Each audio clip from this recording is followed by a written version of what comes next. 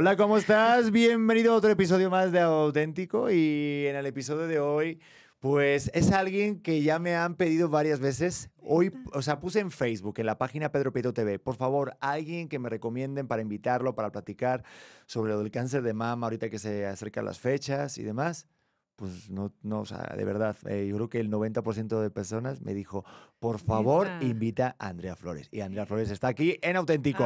oye, yo bien fan cuando me escribiste que yo estaba, no puede ser, no puede ser, qué padre, la verdad es que estoy muy emocionada. No me lo puedo creer. Yo, o sea, yo aluciné cuando tú me dices, oye, es que soy fan, es que también. Sí. Y yo, pues me encanta eso porque me hace sentir súper, o sea, de verdad, gracias. Mi esposo me preguntó, ¿quiénes son? Y yo, los que me salen a cada rato en TikTok. Ay, que somos unos pesados, sí. No, o sea, me salen un chorro de TikTok, digo, los sigo y aparte me salen muy seguido. Y yo, claro que los has visto, somos del TikTok. Somos los del TikTok. los del TikTok. Ay, no, pues mira, yo estoy muy contento porque mucha gente me dijo, por favor, habla con Andrea. Me metí en tu contenido, en tu Instagram, tu YouTube, pues muchas cosas, porque claro, ahí te haces más cosas de maquillaje, de belleza y demás.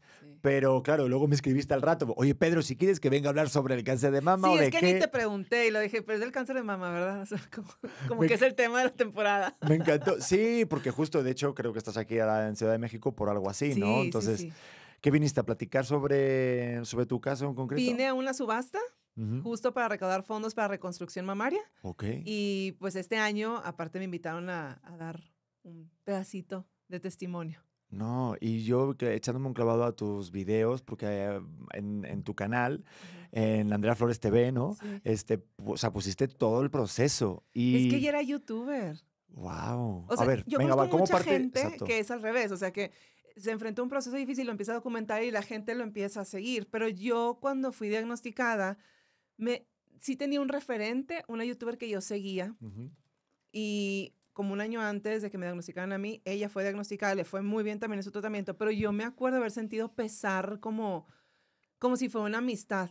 Y ella sí subió su, o sea, platicó su diagnóstico y tú la veías que iba el cabello y todo, pero no documentó su proceso. Y yo buscaba y buscaba y solo encontraba médicos. Y a veces que el Google y el YouTube de pronto te matan de todo. O sea, buscar es un arma de doble filo. Y no encontraba ninguna referencia que me... No, no sabía ni cómo era una quimio, ni qué se sentía, solo sabía que la gente se sentía muy mal, pero la ciencia cierta no sabía. No, y, a lo mejor te metes y, checas y a lo mejor es otra información que no va muy adecuada con lo que realmente se vive, claro. O sea, a lo mejor son otros tipos de quimio, pero bueno, vamos por el principio, ¿te parece? este, ¿cómo fue, cómo fue tu, o sea, cómo te enteraste que, que, que, tenías cáncer de mama? ¿Cómo fue esa, no sé, cómo te lo Estuvo diagnosticaron? bien atropellado, la neta. Mira, yo me encontré una bolita, o sea, te lo voy a decir en fechas para que tengas una idea de cómo me puede haber ido súper mal, la neta. Yo me palpé una bolita micro, o sea, tan chiquita que ni estaba segura si era bolita, o sea, para quedarlo chiquita, como, un, como los granos de sal de mar. Sí. Así ese nivel de chiquito, o sea, nada. Y luego, luego corrí con el ginecólogo. Y yo, oye, revísame, es que tengo una bolita. La tenía justo abajito del busto, por eso era muy fácil para mí palparla. Y me dijo, no, hombre, es benigno, ni te preocupes, a tu edad, tenía 35.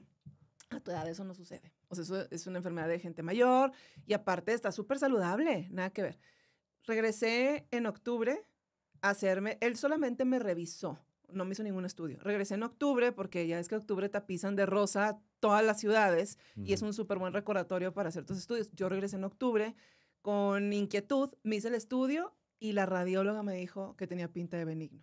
Se veía como una bolita y me decían, no, es que el cáncer es benigno, es un quiste porque es muy redondo y el cáncer nunca es así, siempre es más bien como una masa y no, para nada, no tiene pinta de maligno. Me fui pero en diciembre me quería hacer como un levantamiento de, de buce después de años de haber tenido mis hijos y fui con un cirujano que me dijo lo mismo, de que no, hombre, yo te opero, te dejo Barbie y eso de puro protocolo lo mandamos a patología.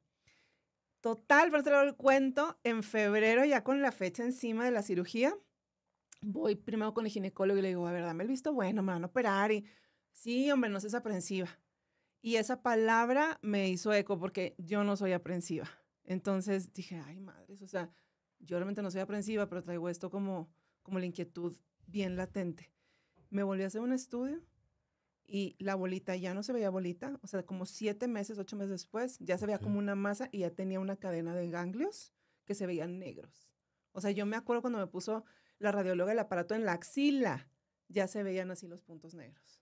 Wow. Esa fue mi historia de diagnóstico. Fue un diagnóstico que yo busqué O sea, porque... Por intuición. Eh, sí, y creo que son muchos casos, ¿no? Que, que al, digo, tengo alguna compañera, alguna, alguna amistad que, que, que, le pasó que fue pues igual como muy fortuito, como que en una, no sé, en una consulta de, de otra cosa le vieron esto. O sea, eso es algo común, entonces, por lo que veo, ¿no? Que, que, vayas a lo mejor para otra cosa para el doctor y justo te descubran como un quiste o una bolita. O con el doctor equivocado. Yo, por ejemplo, hoy sé que cuando tienes una bolita, no es con el ginecólogo, su especialidad es otra. Tienes que ir con un mm. radiólogo o una radióloga con especialidad en mamas o con mucha experiencia en mamas para que puedan realmente...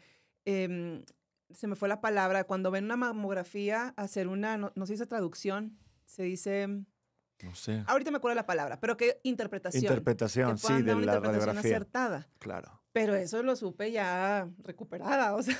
No, pero yo creo que tu caso, eh, aparte de tu historia, que está como súper relatado en todos tus videos, eh, también ayuda muchísimo porque o sea, yo soy el primero que tengo mucha ignorancia sobre eso y por eso quería que estuvieras aquí, porque de alguna manera, como tú lo dices en tu primer video, que esto que esté pasando ahorita aquí, que también tu, tu experiencia sirva para alguien que o está en ese momento o darles todas las informaciones, porque siento que eh, cuando hay tanta información, también al final el discurso se pierde, ¿no? Y, y, tú sobre todo en tus videos lo humanizas mucho y lo, pone, y lo pones en primera persona y eso se agradece mucho porque lo entiendes mucho más, o sea, mucho mejor. Pues es que ya tenía una audiencia no, no como ahora, más chica, pero ya tenía una audiencia y una de las primeras cosas que me dijo uno de los especialistas que me vio, me decía, es que tuviste mucha suerte, qué bueno que fuiste eh, muy insistente en tu revisión, porque las mujeres menores de 40 generalmente llegan en etapa ya bien avanzada, sobre todo con el tipo de cáncer que yo tenía. A grandes rasgos son cuatro tipos de cáncer de mama. A ver, ¿cuáles son los tipos de cáncer? El que yo tenía era el que no hay que tener. Bueno, no hay que tener ninguno, pero es el que más bien ningún doctor quiere. ¿Cuál? A ver, cuéntame. Está, son tres el, perdón, cuatro. Y este se llama triple negativo porque las pruebas que le hacen sale negativo. Entonces, a ciencia cierta, no se sabe qué lo provoca. Hay tipos de cáncer que es por eh, situaciones hormonales y cuando terminan su tratamiento de quimioterapias y radiación, les dan una pastilla que inhibe las hormonas. Entonces, con eso te tienen como blindada unos años. En mi tipo de cáncer no había nada que te blinde después. Es como que ahí estás a la buena de Dios, ojalá nunca regrese, porque no se sabe a ciencia cierta qué lo alimenta. Entonces, lo primero que me explicaron fue, un cáncer de mama triple negativo eh, casi siempre se ve primero como una bolita que no parece cáncer y de repente se descompone y crece. Y mm, también algo que me decían es, puede irte muy bien o muy mal, o sea, no hay como intermedios, o sea, ese cáncer es agresivo, te puede ir súper bien que la bolita se desaparezca antes de la cirugía, que fue mi caso, gracias a Dios, o te puede ir de que nunca respondió la quimio. Uf, oye, es un volado, está bien complicado. Pero está bien fuerte, porque digo, ahorita, o sea, tú escuchas la palabra cáncer y a mí sí me entra... ¿El nervio? O sea, mira, te voy a contar algo muy personal, pero hace como un par de meses... ¿Te puedo grabar? Sí, no, no. Estamos grabando y esto se está escuchando. Pero pues hace como, como dos meses, eh, la verdad me sentía muy, muy cansado y demás y mareado y pues me, me, dijo Titi, oye, ¿por qué no vas a hacerte unos, unos test de, de sangre? Y me lo hice y pues tenemos una familiar que, que, es doctora y ella pues se lo envió a la persona del corazón, ¿no? Tenía como varios dolores. Mi mamá tiene un tipo ahorita de, de cáncer en la sangre. Eh, entonces, pues hay una parte de, de, herencia, ¿no? Pero yo esto no lo daba por hecho, entonces cuando mm, entregué los, los, los test y todo, pues el, este familiar se lo envió al oncólogo, creo, ¿no? Y, y a ciertos especialistas del corazón y pues dijeron, oye, y como que tardaron un día en, responder. Y yo sí soy muy aprensivo y soy hipocondriaco. Y es de, oigan, pero contéstenme, ¿no? Miles de diagnósticos en tu cabeza. Y lo primero que me dice eh, esta familiar, que es la tía de Titi, me dice, oye, eh, ya quedó el cáncer descartado. Y yo, pero bueno, ¿en qué momento lo tuvimos en cuenta?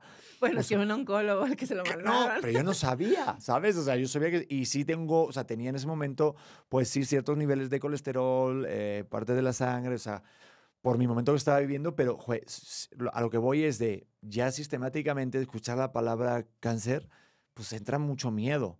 ¿Debemos de tener mucho miedo o no? O sea, ¿tú cómo, cómo te cambió la vida cuando de repente te dicen que tienes cáncer de mama? Cuando ya lo sabes. Cuando me dijeron, bueno, regresé con la misma radióloga porque el ginecólogo que me dijo que era muy aprensiva, me dijo, mira, ya para que entres tranquila a la cirugía, ve, pero ve con la misma radióloga, pero una chavita, o sea, una jovencititita. Y fui con la misma radióloga y cuando le vi su cara y vi la pantalla y luego como que en algunos libros ya ves que cuando hablan algo de cáncer se ve así como que bolitas conectadas. Y le dije, es malo, ¿verdad?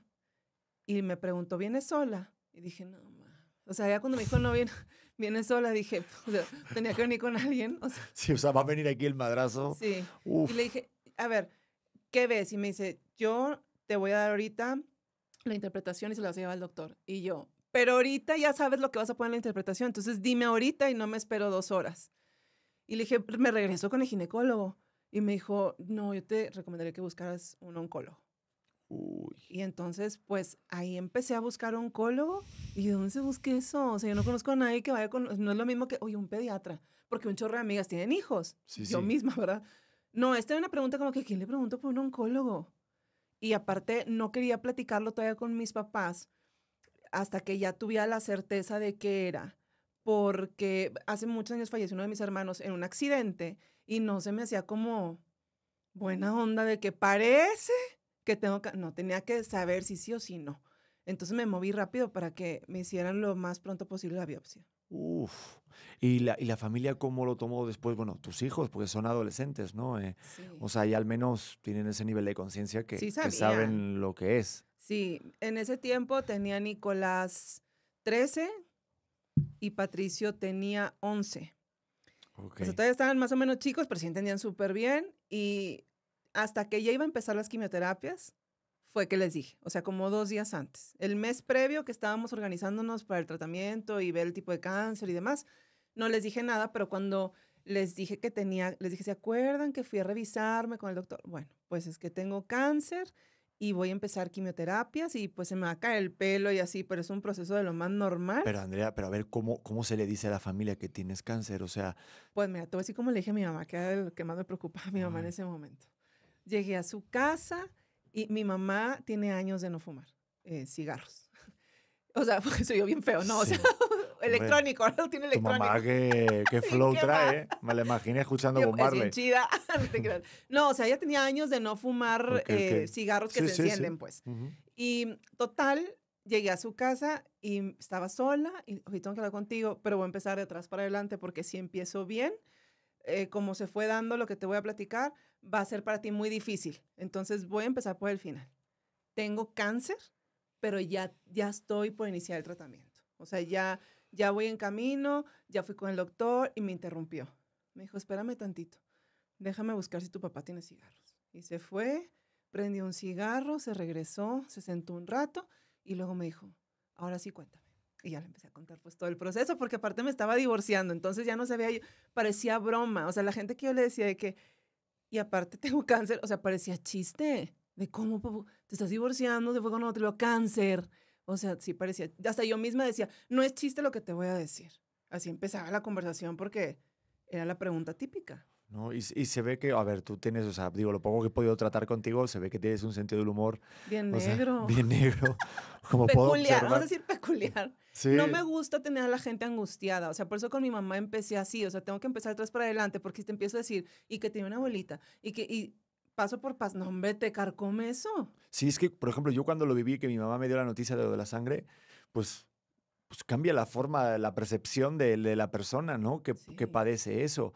Pero no sé si en, en, todos los casos o en todos los tipos de cáncer es satisfactorio la larga, porque, pues claro, tú, tú, tú sentiste que a lo mejor pues, la gente que estaba a tu alrededor ya te miraban de forma diferente o se comportaban de una manera diferente. No. Ok. Fíjate que mis hermanos no.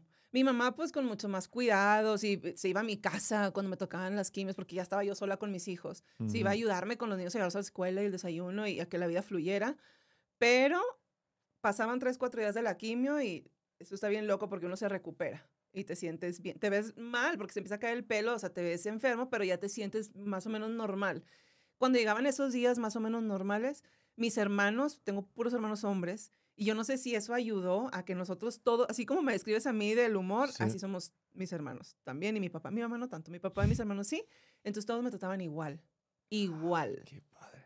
Sí, porque no me daba cosa ir a mi casa. Sí, porque siento que lo peor que puedes hacer es sentir lástima por alguien. Justo es lo contrario. No digo, ahorita vamos con eso, porque sé que también tienes un video de que, cómo hablar o qué se le tiene que decir a alguien que tiene cáncer, ¿no? Pero siento que es como todo en general, el, el mirar con el pobrecito, el O sea, no, no me lo quiero ir al, otro extremo, ¿no? Pero es que siento que pues, pues, pues eso tampoco ayuda tanto. Es un pesar pues, natural, pero, luego a veces es que depende de la persona. Hay gente que le gusta ser muy apapachada en esos procesos. Yo me quería como que olvidar tantito de mi proceso cuando estaba con mis amistades. Totalmente. No, pero digo, se puede apapachar sin hacer el pobrecito y obviamente pues sentir esa, esa empatía, pero nunca llevarlo al, ah, no, no te preocupes, no me vas el vaso porque Aparte, tal. Yo hacía cosas bien raras, o sea, me empezó a, caer el pelo. Se me empezó a caer el pelo. A ver, ¿qué es lo más raro que te pasó en ese proceso? A ver. Ay, ¿quieres que te lo diga? Bueno, se puede. Es que nadie te dice que te va a caer el pelo de todos lados. o sea, uno espera el pelo este y un día llegué con unas amigas a un barecito, o sea, unas amigas de toda la vida del colegio y yo, oigan, pues ya se me cayó el pelo y todas de quién y yo, oigan, es que yo no estaba preparada para ese pelo, ni para este, ni para nada, o sea, de los brazos, todo, o sea, la nariz, respiras y huele diferente porque no tienes vello. Los ruidos son muy fuertes, o sea, se te va todo el pelo del cuerpo. O sea, eso es algo que es algo bien loco. Wow, y eso es por, por la quimio. Sí no es el de la cabeza nada más, las cejas. A mí me pongo mucho las cejas. El pelo, del, mi cabello no, porque cuando me dio la noticia los días fui al súper y vi un anuncio de una marca de cosméticos y tenía una modelo, apareció una modelo súper bonita, así de color y afroamericana y sin pelo y no le todo, y un maquillaje y yo, yo me voy a ver así de fregona. Y entonces yo me maquillaba bruto, pero el día que se Así, mi última pestaña, ya me la arranqué porque parecía piolín. Así que como una pestaña, mejor me la arranqué. cosas así. Es que, digo, a mí también, si me quitan el pelo, siento que me veo como, o sea, o sea, siento que es como el poder y también la autoestima. O sea. Es que te ves al espejo y te acuerdas que te hacen algo bien duro.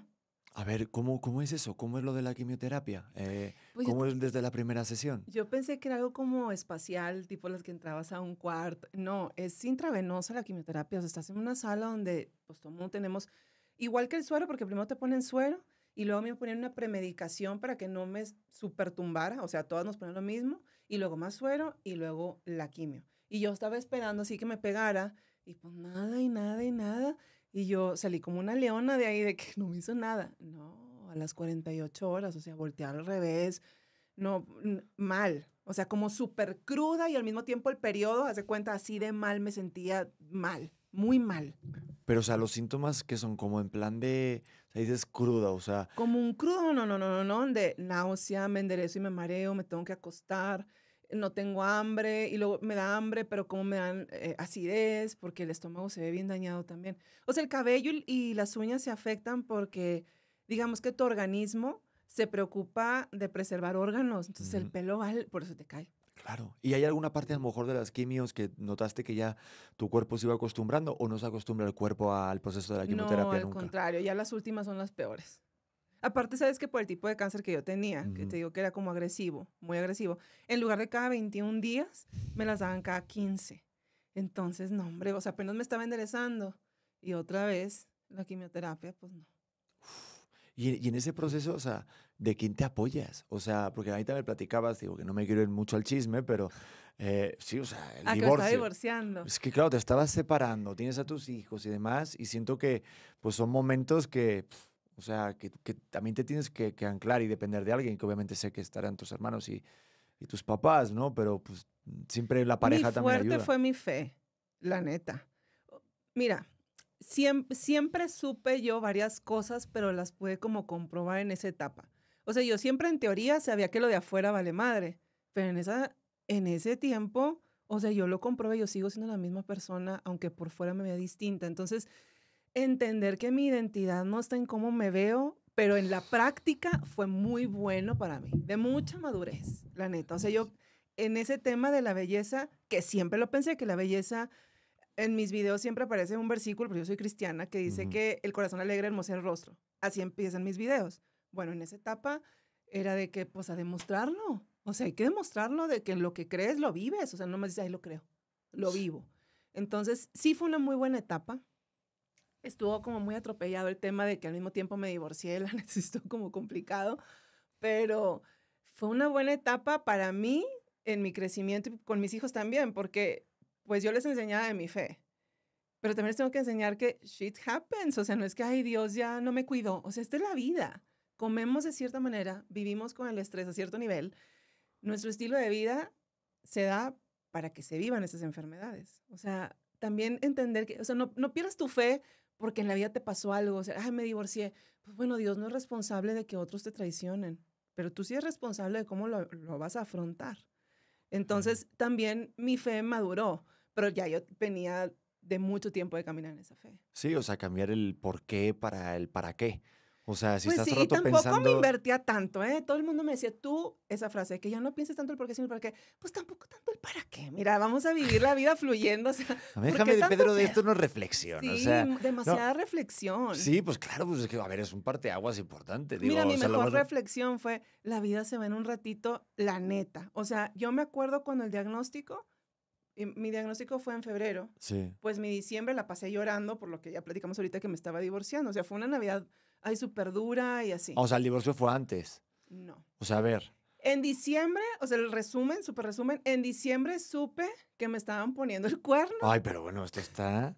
Vaya giro pegó esto, ¿eh? O sea, Voy a vender mi historia. o sea, está, o sea, está, está, está, está como... Sí, fue buena- inesperado, ¿eh? Para mí fue muy inesperado. O sea, ahora, mira, yo siempre dudaba cuando decían, no, yo no vi venir que el, que el matrimonio se iba a acabar y que la infidelidad, te lo juro que yo tampoco. O sea, yo hoy les creo a todos los que dicen, yo no lo veía venir.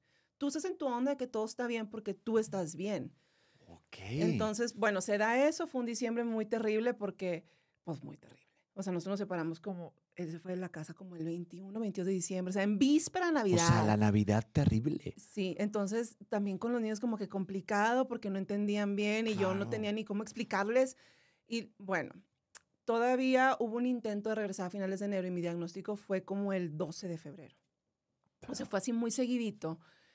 ¿Y qué me llevó a decirte esto? Pues no lo sé, pero me, me estoy enojando con ese güey un montón, ¿eh? Ay, me- hoy en día nos llevamos muy bien. Ah, ¿ya te ibas bien? Súper. Ah, vale, digo, o sea, tampoco me quiero meter en rollos, pero es como de, No, no mira. manches, ah, pasa eso y demás, pues, digo, ah, no ya sé. me acordé, ya me acordé que Ah, me vale, llevó vale, ahí. pues que yo te decía, esa Navidad estuvo fatal, o sea, Sí. muy triste. Yo me acuerdo que decía, yo me quiero dormir hoy, 21 de diciembre, y despertarme ya en febrero. O sea, que pasen las reuniones familiares, Sí, sí, todo sí, el mundo subiendo sus fotitos navideñas en estudio y yo acá con el corazón roto. todas las familias con el pijama igual, y esas cosas es como... y ah, yo pensando de que ni me va a dar pensión, o sea, puras cosas.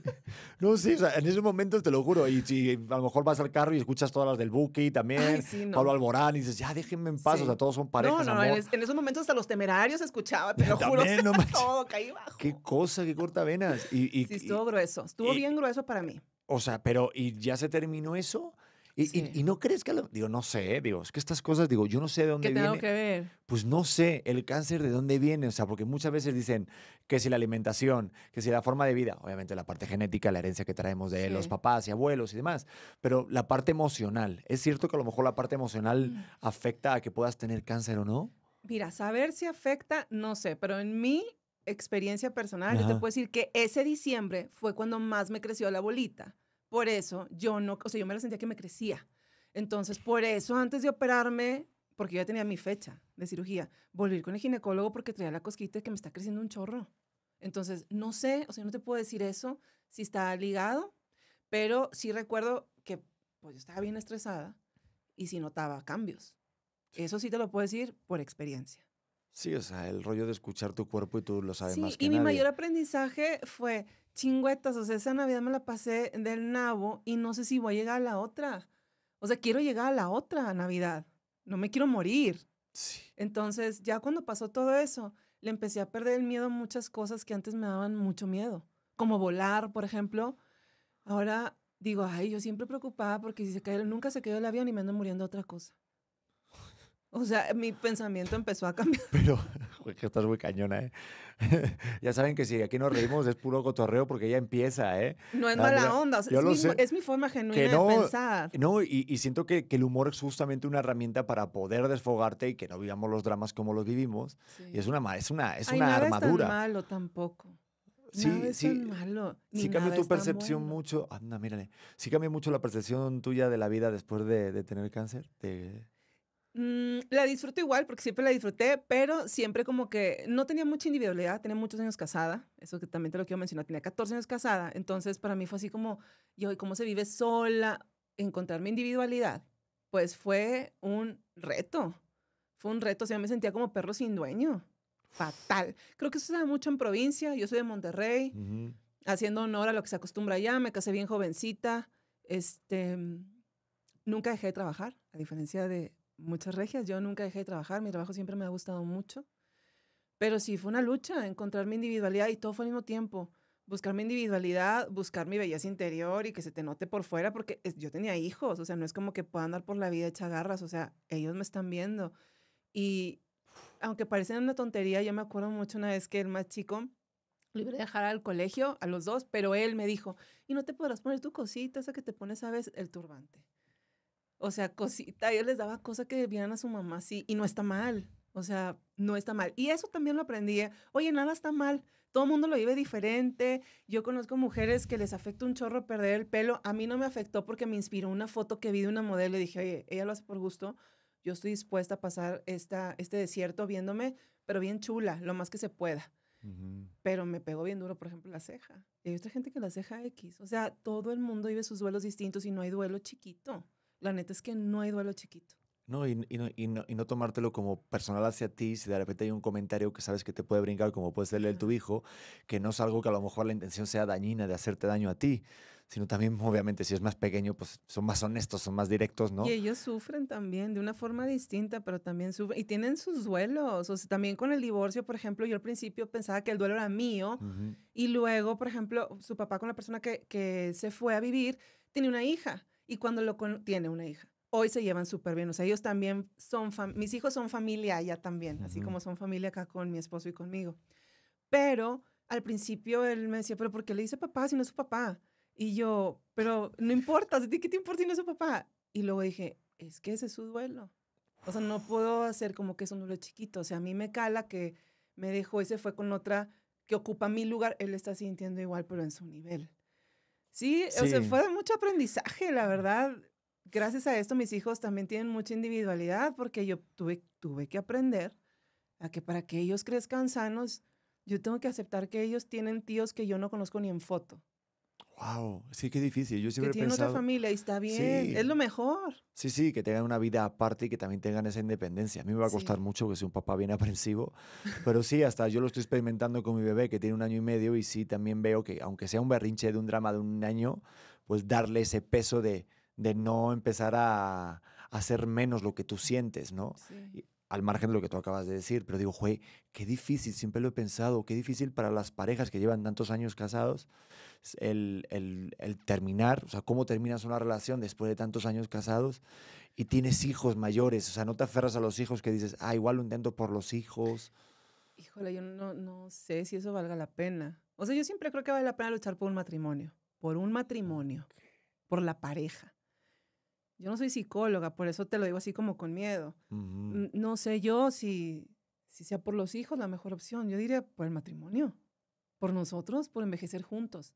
Hoy, por ejemplo, yo con, con mi ahora esposo, un afortunado él, este, pienso eso. O sea, como nosotros no tenemos hijos ni vamos a tener hijos entre nosotros, pues, o sea, él ya tiene uno de su antiguo matrimonio y yo dos. Ahora me queda mucho más claro que el matrimonio se pelea por la pareja, por lo que somos nosotros. No por los, hijos. Los hijos son un, son, son, un regalo de Dios y son de un ratito. O sea, a mí ya se me están yendo, están grandes. Okay. Pero yo siempre creo que mientras no haya violencia y temas así bien fuertes, y, y también al hablar de la infidelidad, creo que hay diferentes tipos de infidelidad. Yo creo que siempre vale la pena luchar por un matrimonio. Wow. Pero por el matrimonio. Yo estoy de acuerdo, totalmente. Es, un, es nuestra, siempre nuestra narrativa de... Por pues, nosotros y eh, para nosotros. Sí, no, pasa que ahorita hay como una tendencia así del amor propio, independencia, de si no te contesta, no te llena, va y vete a lo tuyo. Y tampoco, hay que como ver, sopesar, trabajar, dedicarle y también es darle un lapso de tiempo, pero ahorita todo es rápido eso, ahorita nos queremos o nos amamos y si ya no nos amamos ya nos separamos y tampoco. Ay, entender que sí se puede hablar como, se, como me salga, ¿verdad? Sí, o luego, no tengo que cuidar mis palabras. Luego pues. si nos censuran este, y no hay monetización, pues pagas tú los pañales de mi hijo y, No, te quería decir, es que no encuentro otra palabra para escribirlo. Tú dale, tú dale. O sea, es que el matrimonio es una chinga, pero si uno no se casa sabiendo eso, a la primera dices, no, esto es una chinga. Sí, es una chinga. Pero ¿sabes qué es la mejor manera de crecer como persona? O sea, con pareja. Bueno, no la mejor manera, porque la gente que no vive en pareja también tiene su crecimiento, su madurez, todo, pero es más difícil porque estás así con el roce y el roce y el roce con otra persona.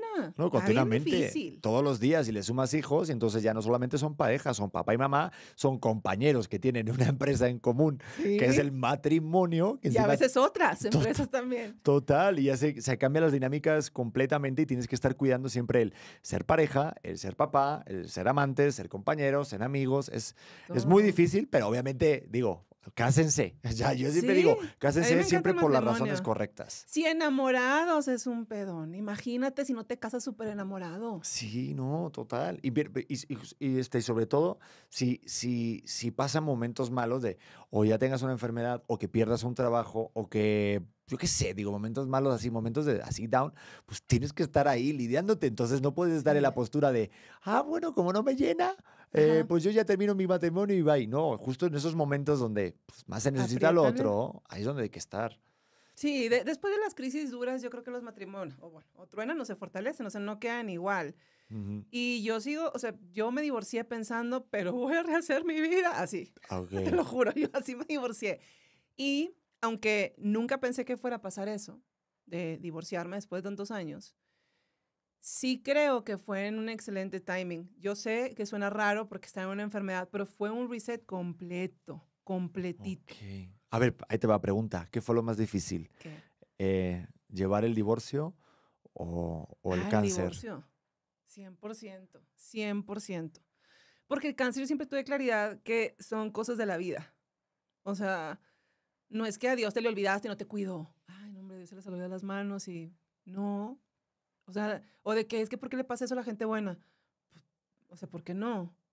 Pues es parte de la vida, o sea, la muerte es parte de la vida. Lo que pasa es que hoy existen enfermedades de todo tipo que a lo mejor antes no se escuchaban. Pero un divorcio, y en las circunstancias que yo me divorcié, me costó mucho entender que la gente buena también puede traicionar en algún momento. O sea, que tampoco los define, pues.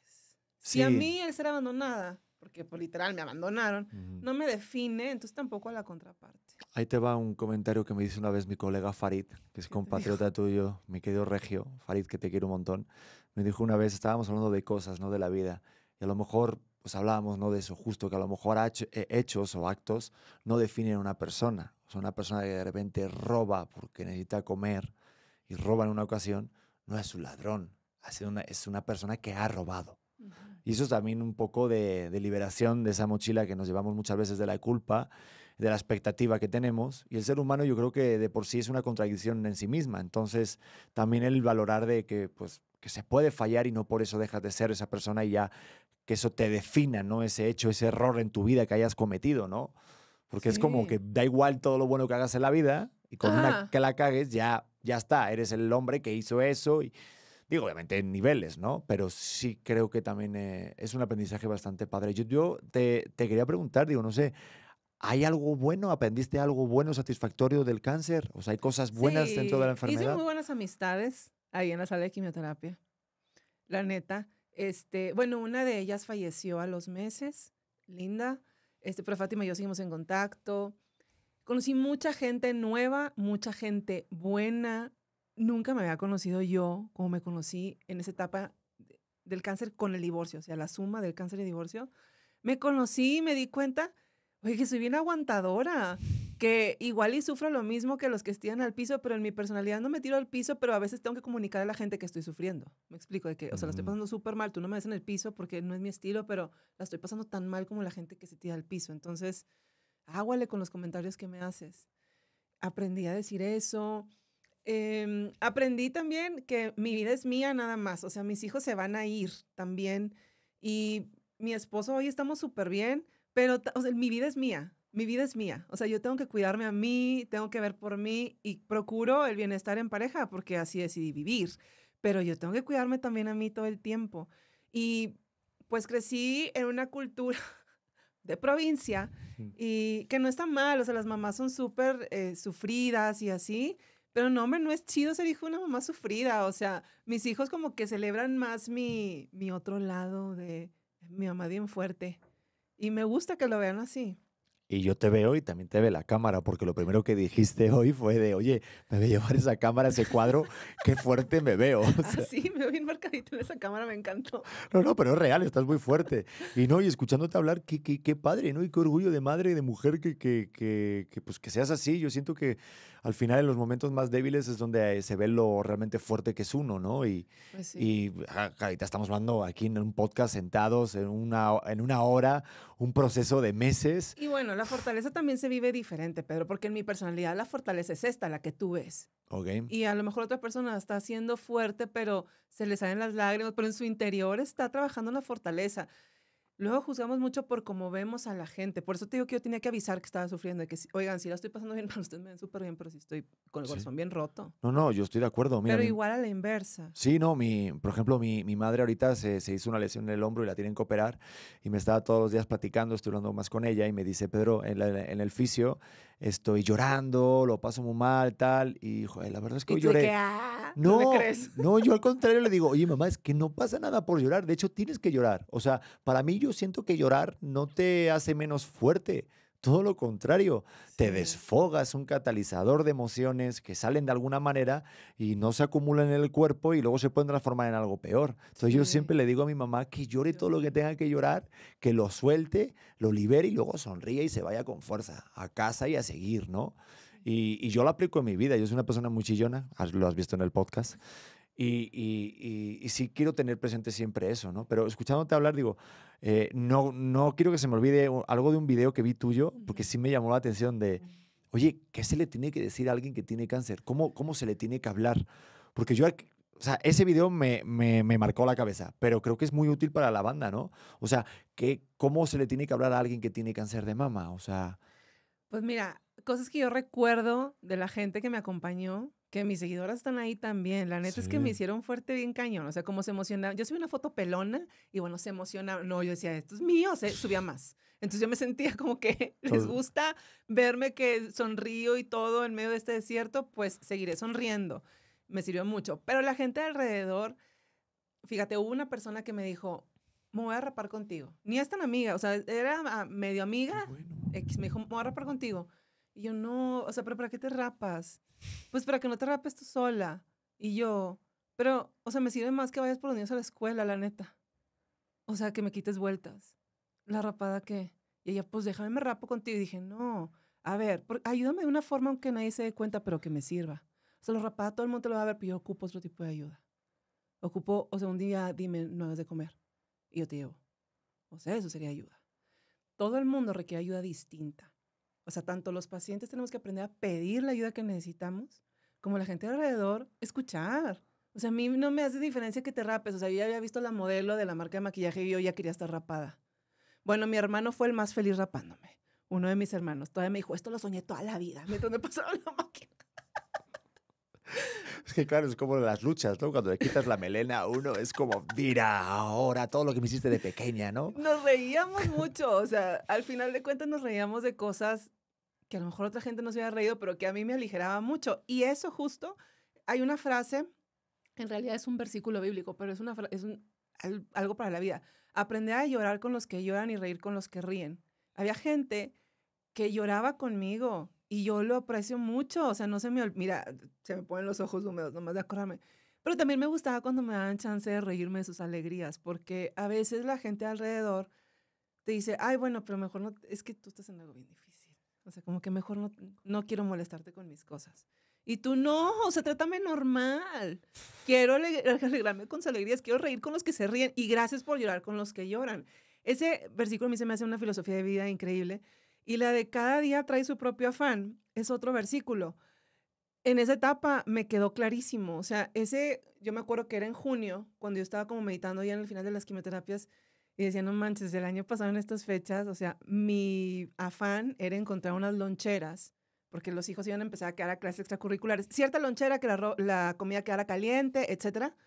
Y decía, y hoy estoy aquí conectada, o sea, una quimioterapia pero no estaba mal el año pasado. O sea, no es que el año pasado mis preocupaciones eran banales. No, o sea, era mi afán de ese año, de ese verano. O sea, no está mal. Y a veces la gente cuando se acerca a un paciente dice, no, pues es que, o sea, yo vengo con esos problemas ridículos y eso trae problemas. Pero eso es tu afán y no está mal. O sea, yo, aprendí a reír con los que ríen y eso me hizo, no, me ayudó a no sentirme víctima. O sea, si era víctima de, de lo que estaba pasando, ¿verdad? O sea, no está padre tener cáncer, no está padre estarte divorciando en esa etapa pero no, me voy a caer en el lugar de la víctima, o sea, déjame disfrutar contigo lo que tú estás disfrutando, entonces me acuerdo que la vida, todo pasa. Si yo te veo reírte y comparto la reír, me queda clarísimo, todo pasa. entonces, esos dos versículos para mí fueron así, de que los había escuchado tanto toda mi vida, porque yo crecí en, una casa cristiana, pero hasta que los viví, dije, es que estas son filosofías de vida y uno los ve como que, ay, es súper religioso porque es un versículo. No, pues, medítalo. Pues, mira, yo no te voy a citar un versículo, pero hay un libro que se llama El sutil arte de que todo te importe un carajo. Y está bruto. Se lo recomiendo a todo el mundo. Y hay una, un capítulo que a mí que me marcó de por vida, que es cuando tú tengas un problema y creas que realmente no puedes salir de ahí, escucha el problema de un amigo. O sea, solamente párate a escuchar los problemas de los demás, de los que te importan. Y te juro, lo apliqué, ahí yo había terminado una relación y cuando lo apliqué, el estar presente y estar preocupado del problema de un amigo que también le habían dejado y tenía un problema, me hizo olvidarme del mío. Y también caes, también, esto es como el, como el este, hay un dicho español, ¿no? De consuelo de tontos. Ah, no sé, hay un dicho por ahí español, de en plan, del, eh, bueno, el que no se consuela es porque no quiere, ¿no? Pero en plan de, pues tampoco estamos tan mal, ¿no? O sea, Digo, en tu caso, por ejemplo, dices, pues bueno, a lo mejor, y digo, yo también tengo un humor muy negro, ¿eh? Pero pues dices, pues claro, a lo mejor te juntas con alguien, pues a lo mejor este, tú te divorciaste y eso, ¿no? Pero a lo mejor te hablas con alguien, ¿no? Es que a mí yo me he divorciado tres veces. Ah, bueno, pues mira, a mí solamente una o vez. tengo un chorro en contra del trabajo. o sea, eh, sí, claro. Y tú, pues divorciada, pero híjole, pero te digo, trabajo. Y no es consuelo como diciendo, joder, que vimes. No, es para que caigas en conciencia que no solamente solo tus problemas, o sea, que no eres la única persona que tiene problemas. No eres el ombligo del mundo. Pero sí te lo crees. Hay un momento que te metes en tu vorágine, en tus temas, y yo no sé cómo tú, seas. Yo sí soy así de overthinking, de estar pensando continuamente en todo hasta que no lo soluciono y, ah, pero si no, me quedo en esa negatividad y no salgo. Sabes que yo tuve muy buen acompañamiento. O sea, todo ese tiempo estuve en terapia. O sea, yo busqué un terapeuta que me lo recomendaban porque era psiquiatra y yo, claro, se está volviendo loco. O sea, cuando me... Pero eso es lo primero que pensamos, ¿no? Con el este. Y luego, oye, un grandioso terapeuta, psiquiatra, pero fíjate, yo conociéndome, alguna vez que me dijo de que te voy a tener que algo, o sea, vamos a empezar con algo para que duermas. Y yo, no, no, no me des nada, por favor, porque me va a gustar. O sea, como no puedo dormir por mí misma, pues me voy a hacer adicta a eso, no me des nada, por favor. O sea, un terapeuta, porque él aparte de ser psiquiatra es terapeuta. O sea, fue un gran acompañamiento, un hombre muy frío, la neta, o sea, me acuerdo de haber llorado, de que es que ya no nos quiere. Y él no, o sea, no te quiere a ti, pero sus hijos sí. Y yo no me gusta lo que me estás diciendo. Y yo, te estoy pagando terapeuta para que me ayudes, o sea. Y recuerdo que me, me, decía mucho de que yo lo que quiero es que entiendas cuál es tu, tu realidad. Primero que la entiendas para que la empieces a aceptar. Realmente fue un mm. gran acompañamiento. Entonces, pero yo tengo un tipo de temperamento que busco ayuda. O sea, no me quedo así como que yo me las sé de todas, todas. Busco ayuda y me gusta la gente que me habla fuerte, entonces a lo mejor por el ser hombre me representaba como autoridad y te digo que un hombre así como que no cálido me ayudó un chorro a avanzar. Sí, para que no te venda como lo que quieres escuchar y más que te sea honesto y sincero y te meta justo en el momento que estés viviendo, ¿no? Yo, yo, también prefiero mucho eso. Yo he tomado, por ejemplo, terapia con una tanatóloga, que eso también a mí me ayudó mucho, porque son personas que están justo relacionadas siempre con, con personas que van a perder la vida o que pierden la vida y tener siempre presente, yo, yo, lo, yo lo hago muy a menudo, y digo, y seguramente lo censuren esto YouTube y Facebook. No, porque hablar de siempre es un tema de censura. Bueno, pero estamos hablando desde una perspectiva de no verla con miedo, de entender que uno tiene que aceptar su realidad. no, que sí, que totalmente. No, pero digo la palabra... Mm, Le pones pip. A ver qué decimos, pero vamos a decir, este... No, pones un pip como, como las canciones de Molotov. Ya, no... O sea, no lo edites. Vamos a estar pi, pi, pi. Sí, nada más este cachito. Bueno, o llamarlo de alguna forma, sí. Este, cuando te vas al otro plano, pues yo siempre lo tengo presente. El tema de irte al otro plano, porque allá vamos todos, ¿eh? Eso me queda clarísimo, ¿eh? Algunos antes, otros después. Y otros países que no se van a ir, pero que se vayan ya, no. pero, pero sí, sí, sí lo tengo muy presente porque, porque el, el, primer contacto con eso cuando eres más joven, a mí me marcó de por vida el que falleciera mi abuelo. Entonces, siempre tener presente de que no está todo dado por hecho, que no todo es para siempre, hace que, que disfrute mucho más los, los, los, momentos y que lo disfrutemos, ¿no?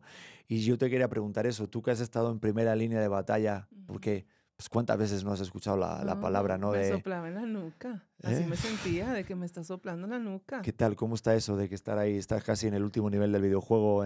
Fíjate que ahorita que es que la muerte de tu abuelito, sabes que yo me acuerdo mucho cuando se murió Pato, mi hermano, que yo, mi primer pensamiento fue, o sea, ya fue todo. O sea, ya. Así de plano. Así pues, me quedé, tenía 14 años yo. Y me quedé pensando que, o sea, ya. O sea, ya no, ya no puede ser nada, ya. Game over. Y ahora que estuve con lo del cáncer, algo que no que me angustiaba, pero yo pensaba, es que yo realmente lo estoy enfrentando con muy buena cara. A mí no me gustaría que si yo no cuento la historia y la cuenta alguien más, yo no quiero que después digan, y Andrea perdió la batalla contra el cáncer. Yo no la perdí. O sea, sea cual sea el desenlace. Y hoy lo sigo pensando de la gente que su historia termina eh, eh, por un tema de cáncer. Ay, no está padre que digan que perdió la batalla. O sea, si lo enfrentó con buena cara, si no perdió las ganas de vivir, porque está bien cañón, Pedro. Está en eso y no perder las ganas de vivir. Si no perdió las ganas de vivir, si lo enfrentó con buena cara, ¿por qué dicen que la perdió? O sea, no la perdió la batalla. Lo que pasa es como dices tú, todos Dios nos va a llamar a su presencia en algún momento. Lo que no sabemos es en qué carro vienen por ti, ¿verdad? claro. hay todo, eso lo dice mi mamá, hay todo tipo de transporte. Eso es lo que no sabemos, ni el tiempo, ni cómo, pero ¿por qué dicen tanto eso? Y yo, yo pensaba, si eso se empeora, yo, algo de las cosas que quiero platicar con mi familia es que yo no quisiera que en mi funeral o, o en el Facebook o algo digan, y perdió la batalla. Con... No, yo no la perdí, o sea, yo la estoy enfrentando con muy buena cara como para que encima digan que se perdió. O sea, no. Oye, fíjate, nunca había pensado en eso. A mí me, me, cala cuando escucho que alguien se muere y dicen, pues perdió su batalla. No, hubo hace poco una persona que, que, tenía pues siempre videos, era un, yo creo que una influencer, una chica española. Ajá. No, no, recuerdo ahorita el nombre, una chica muy joven que perdió, eh, o sea, justo, o sea, la vida, pero no la batalla, porque yo lo pensé, o sea, todos los videos eran alegres. Era impresionante, mira, me da Está cosa... cañón. Y porque digo, hay cosas como que no entiendes, ¿no? Y y cuando ves eso, ves esa fortaleza, esa entereza, ese ejemplo de vida que dices tú, y yo estoy aquí quejándome porque a lo mejor llegué tarde al autobús o porque no encuentro. Pero tampoco está mal, Pedro, es tu afán del día. Pues sí, no. No puedes vivir pensando todo el tiempo. Pues sí está mal. Pues sí, no, pero sí, pero, pero sí tengo que decir, oye, pues no me puedo enojar, o sea, y no permito que se enoje nadie en mi familia porque no encuentres el iPhone que tú quieres. Porque no te alcanzó. Porque es una tontería, porque puedes vivir con otro, otro teléfono que no sea iPhone, ¿me explico? Sí, no es canasta básica. O sea, es, sí, es que darle un poco, ¿no? Eso sí me da mucho coraje. Entonces, a lo mejor casos así, digo, wow, ¿sabes? Así es como un ejemplo de vida, como a ti te pasó con esa modelo que viste una vez en un espectacular, pues que sirva de inspiración y que sirva algo que deje un granito de arena que para nosotros, para, oye, mira, pues esto es una motivación, ¿no es? Claro, mira, yo me acuerdo que andaba pelona, porque aparte me tocó la canícula en Monterrey, que son los dos meses más calientes de todo el año, y yo con turbante, o sea, me quitaba el turbante y mejor me arreglaba la cara. Y la gente así en el semáforo me hacían así. O sea, las razas se emocionaba y yo decía, oye, yo los voy a emocionar. Si les gusta, yo les doy. Y entonces, a mí me encantaban mis seguidoras, me siguen encantando. O sea, fueron parte de mi... Tienes una comunidad bien bonita, te digo. bien cañona. Mira, ¿te acuerdas que al principio del podcast te comenté que a mí me tocó que una youtuber española diera su noticia de una enfermedad grave? Así se llamaba ese video. No se me olvida cómo se llamaba el video. Y yo sentí pesar como alguien que conocía porque pues yo sí la conocía, o sea, yo veía su día a día. Ella le fue muy bien. Y yo le escribí una vez de que se llama Belén. Y yo es que yo estoy orando por ti. Y te lo juro que yo oraba por ella. O sea, yo cuando hacía mi espacio para orar, yo me acordaba de ella y de su situación. Entonces, sin conocerla, pero con ese apego de que soy su seguidora. Cuando me tocó a mí y me decían que estaban orando por mí, pues yo me la creía, porque yo ya lo había vivido. ¿Sí me explico? O sea, por eso yo, cuando me decían, es que em, en mi iglesia en Colombia eh, oraron por enfermos y yo me levanté, pero para que oraran por mí, pero yo pensando en ti. ¿Cómo les pagas? O sea, ¿cómo les pagas que teniendo sus propias broncas y peticiones de oración en su fe o afirmaciones o lo que tú quieras? ¿Cómo les pagas que hagan eso? Y yo sí me la creía porque yo había estado en su lugar. No, es que las redes tienen ese poder, o sea, tienen una, una, parte de escucha y de compañía que es como, wow, es que sí estoy sintiendo ese aliento o ese video, ese audio, que te digan, oye, venga, Andrea, que tú puedes, ¿no? O sea, y los comentarios en los videos. yo subía como un tipo de actualizaciones de cómo me fue en la segunda quimio, cómo me fue en la tercera quimio, antes de mi cirugía. O sea, hacía mis videos normales de belleza. Seguía haciendo videos de belleza, no sé cómo. O sea, me armaba de valor y, hoy les voy a enseñar cómo me voy a maquillar de tal color y me hacía un turbante súper padre. He visto algún video. Y así le seguía, pero también hacía actualizaciones de mi salud yo lo vi, o sea, con una bitácora literal de, todos los de todas las quimios, o sea, también vi uno en el que hablabas de cuánto tiempo llevas ahora ya sin cáncer, eh, y, quería preguntarte, una vez que ya desaparece, ¿cómo fue esa noticia que te dijeran, ya no tienes cáncer? La primera noticia es impactante que me dieron, muy positiva. Bueno, yo empecé a notar que la bolita cada vez se llama chiquita con las quimioterapias. Entonces un día me escribió uno de mis, este hermano que me rapó, Y le dije, es que no me la encuentro. Y me, y me acuerdo, mira, se me quiero la voz, me acuerdo que me dijo, ya no la busques. Y yo, pues ya no la busco, ya no la busco. Y siguió pasando el tiempo, terminé las quimioterapias, pero me hicieron un estudio de genética, que era muy importante por mi edad y el tipo de cáncer, como no saben qué es lo que provoca ese cáncer, y que yo tenía en ese, cuando el diagnóstico ya tenía 36, pero yo me encontré la bolita a los 35. Hoy tengo 41, recién cumplidos.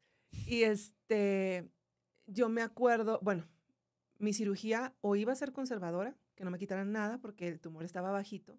Me habían puesto antes de empezar las quimios una microbolita de metal por si corría con la suerte que se me quitara, que se me desapareciera el tumor, saber dónde había estado y poder entrar y quitar tejido de alrededor. Entonces yo traje esa bolita desde el principio, se redujo, quedó como una línea, eh, la, porque ya estaba la bola como una uva para cuando empecé las quimios. Se quedó como una línea y antes de hacerme la cirugía, si daba negativo el estudio de genética, no me quitaban el seno y nada más me hacían una pequeña incisión por abajo y me retiraban solo por dentro del tejido. Este, y por aquí sí me, me quitaron ganglios, porque pues ya había tenido cáncer en los ganglios. Pero si daba positivo, me tenían que quitar las dos mamas completas y los ovarios. Entonces era un volado, o sea, era todo, pero yo así soy, de todo o nada. Entonces, de cuenta que encajaba perfecto con mi personalidad, de todo o nada. Y cuando llegó el estudio y fue negativo, yo estaba de que, no puedo creer, porque eso también quitaba mucha presión de mis hermanos y mis hijos, porque ellos tendrían que hacerse estudios de genética, o sea, era un lío. Y esa fue la primera. Y luego, cuando me operaron y me quitaron el tejido, que fue una cirugía así muy minuciosa que me hizo Jaime Tamés, un, un cirujano oncólogo de Monterrey. Muy minuciosa. Y la siguiente buena noticia fue todo el tejido de alrededor de lo que quitamos venía sano. O el perímetro venía sano. Lo poquito que pudo haber quedado, se sacó. Entonces, esa fue la segunda gran noticia. Y luego ya, seguí con mis radiaciones y sigo en, en chequeos mucho más seguidos de lo que la gente sin, un antecedente de cáncer tiene. O sea, yo me los hago como tres veces al año en total. Los intercalo para ir más seguido. Y, y ya, esperando que llegue mi quinto año, que ah. será en septiembre del año que entra. Me operaron el 25 de septiembre. Y ya para entonces que mis chequeos sean como una persona normal.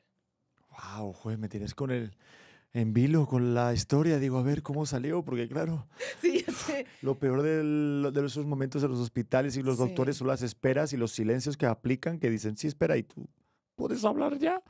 Sí, oh. está cañón, porque el estudio de genética tardó como 20 días, una locura así. Ay, Dios mío, es que eso, es lo que yo a mí me... Oh, ojalá avance la medicina pronto. Digo, sé que hay muchas mejoras y que hay muchas cosas que ya sí, se mira, la cirugía que me hicieron a mí fue una chulada. Sí, o sea... Porque yo me veo al espejo y fuera de lo que me quisiera hacer por vanidad, no hay ningún rastro de que yo tuve cáncer.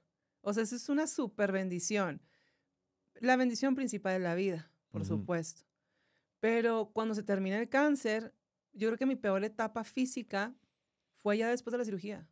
Cuando me empezó a crecer el pelo y la ceja y luego me crecía como si tuviera sarna, o sea, en parches. O sea, esa fue la etapa en la que me sentí de que no sé cómo arreglarme. O sea, traigo cinco pestañas acá, tres cejas, o sea, era mejor cuando no tenía nada y mejor me arreglaba yo sola la etapa de reconstruirte, reconstruir, en mi caso, pues fue reconstruir mi vida porque me había divorciado, pero, por ejemplo, quienes son sobrevivientes y le hicieron una mastectomía o, doble, hay gente que no entiende que es un duelo. Yo no lo, no lo sé explicar bien porque yo no viví ese duelo en particular de que te quiten una mama, pero a veces la reconstrucción física es parte de la reconstrucción de su vida. O sea, ya sobrevivieron, ya apagaron el switch de supervivencia y entonces ahora quieres reconstruirte.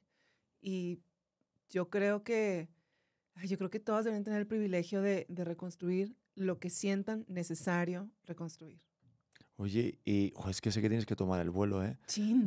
ya lo sé, pero te tienes que ir corriendo porque si no, no vas a llegar. Pero para terminar, eh, me, me, gustaría que de alguna manera, no sé si yo hayan, o sea, que me haya dejado algo por platicar ahorita que, que, que estamos este, pues hablando de esto que viviste, no sé, para alguien que esté viendo este podcast o escuchándolo, algo que a lo mejor no se suele decir. Digo, porque esta parte de la reconstrucción nadie habla mucho de esto. O pues sea, es que parece que no tiene valor al lado de la vida. O sea, parece algo como muy de vanidad, pero no, no, no, no. no. Es un. O sea, después de tener cáncer, regresas a la misma persona y ya eres otra persona. Mm, híjole, yo no, yo no creo ser la misma persona. Sí, sigo viviendo mi vida igual de feliz, no me volví desconfiada y así o aprensiva, pero sí tengo una perspectiva diferente.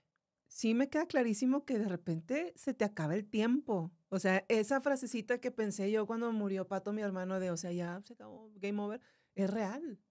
Es real. O sea, en un, la vida estaba en un suspiro, la neta. Y Sol, es una frase muy común lo de escribe tu vida como si fuera el último día de tu vida. O sea, es súper común. Oye, pero la neta, si tú supieras que hoy es tu último día, no sería tu agenda entrevistarme a mí. Ni tampoco estaría en mi agenda venir. Si yo supiera que hoy es mi último día. O sea, realmente lo decimos y no lo entendemos. Pero a ver, espérate. Pero si en el caso de que fueran los últimos días de los dos, estaría padre hacer aquí una fiestota, ¿no? O pues sea, digo. Sí, sí, o sea, si, no era una opción y de repente nos enteramos justo ahora, pues bueno, pues ya está, ya se armó. Ay, pues sí, pero no quisieras a lo mejor también estar a solas con Titi, tu hijo. No, eso, eso por supuesto. o sea, decimos mucho eso de que vive tu vida como si fuera el último día, pero si tú supieras que hoy es tu, último día, tu agenda sería bien diferente a la armaste. Que sí, yo eso lo aplico cuando de repente te enojas con tu pareja.